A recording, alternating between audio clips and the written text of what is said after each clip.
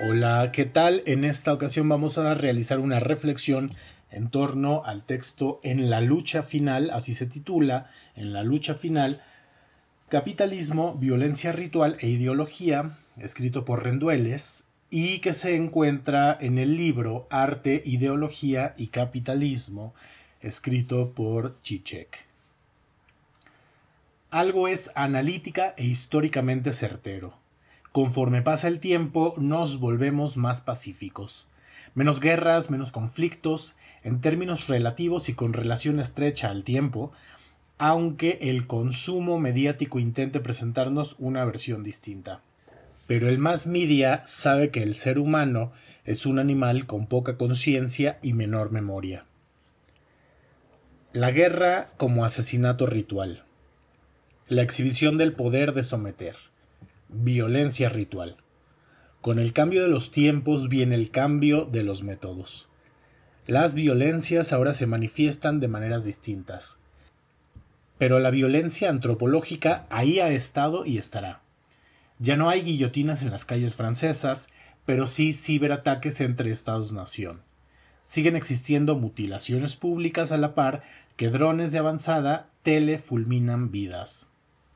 Por ejemplo, México, como Estado-nación, se presenta a sí mismo como un orgulloso país violento. Criticamos la violencia, que no entendemos además, que ocurre en Estados Unidos, por ejemplo.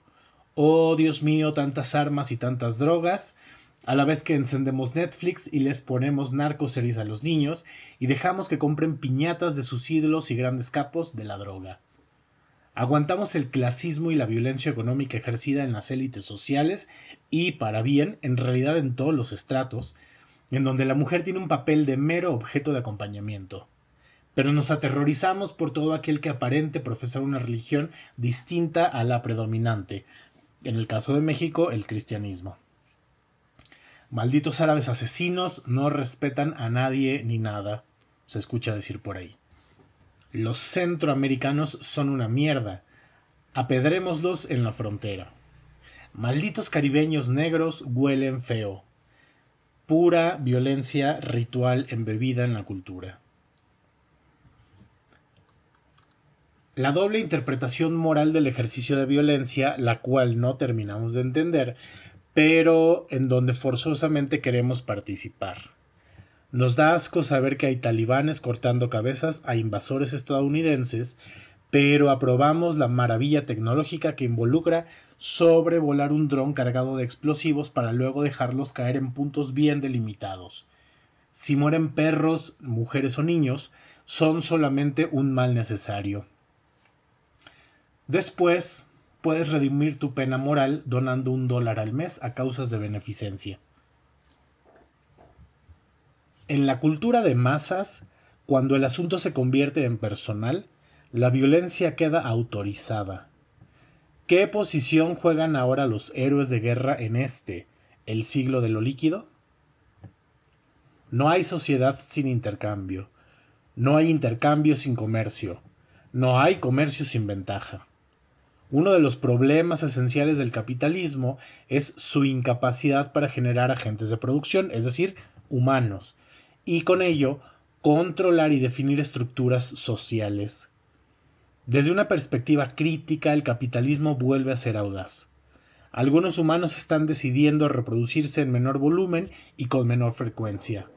Esto es un problema dado que la enorme maquinaria, ya bien engrasada y calibrada, no cuenta con insumos operativos necesarios para mover las palancas, para devorar lo indevorable. ¿Qué hacer entonces? Sustituir humanos con otros seres animados Sustituir relaciones sociales con objetos de consumo. Si ya los humanos no desean hijos, que tengan perrijos, que tengan gatijos, que tengan mascotijos, lo que sea, pero que tengan algo.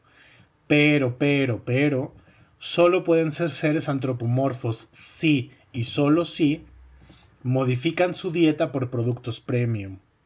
Son llevados a muchos lugares en calidad de acompañante VIP se asean en centros de cuidado especializados y que preferentemente no ladren, no maullen, no, que no desprendan mucho pelo, que no orinen las paredes, que no baben los muebles de la casa. Para algunos humanos establecer relaciones duraderas de pareja o de familia es todo un reto. Es mejor comprar cosas al instante vía la tienda en línea de preferencia. Es más fácil y es mejor dar likes a esas personas objeto, carne trémula y deseante de un acostón y olvido de fin de semana. Viajar, una buena comida acompañada de un buen vino, el status quo de un cierto segmento social aspiracionista, que se niega a reconocer su deficiencia argumentando posibilidad y creación, pero nunca sometimiento. Nos encontramos, es decir, los actores capitalistas, aún en un estadio de incertidumbre, pero no de emancipación participativa. Un poco como ocurre en los sistemas sectarios, las religiones, en donde los feligreses, algunos de ellos, argumentan ser conscientes, o incluso lo son, pero guardando silencio y volteando la vista frente a actividades que no son del todo deseadas. Homo economicus y homo sociologicus en constante lucha deseo, creencia y acción. Así, creencias, impulsos, deseos y comportamientos son un flujo continuo indiferenciado. La cultura del coaching ontológico se convierte en una cultura del coaching ortológico. De regreso al ano solar. La naturaleza no sabe ni está interesada en nuestras vidas, menos en nuestras existencias. ¿Por qué la sociedad entonces debería ser distinta? Lo que no hemos querido asumir es que el capitalismo no puede morir porque no tiene vida, no puede extinguirse porque no tiene materialidad. Está imbricado y encarnado en cualquier génesis geopolítica, en cualquier nuevo humano que nace segundo a segundo, proyecto, creación o devenir. El anarcoliberalismo es capitalista. El, anarcocapitalismo es capitalista. En un sentido antropomorfo, el capitalismo no es ese monstruo deforme y grotesco, sino más bien es lo más parecido al dios natural y cuasi perfecto. Belleza adónica. Y eso nos debería tener todo menos cómodos y contentos. La rebelión y abnegación no deberían ser parte del mismo sistema. Listo, muchas gracias por acompañarme en esta reflexión y les recomiendo muchísimo que den lectura a este texto, Arte, Ideología y Capitalismo, que más bien está enfocado en un análisis crítico a la cultura del mass media, eh, de la televisión, del cine, etc. Pero por ahí se cuelan estas ideas interesantes que pueden ser explicadas desde lo macro. Con esto me despido, muchas gracias.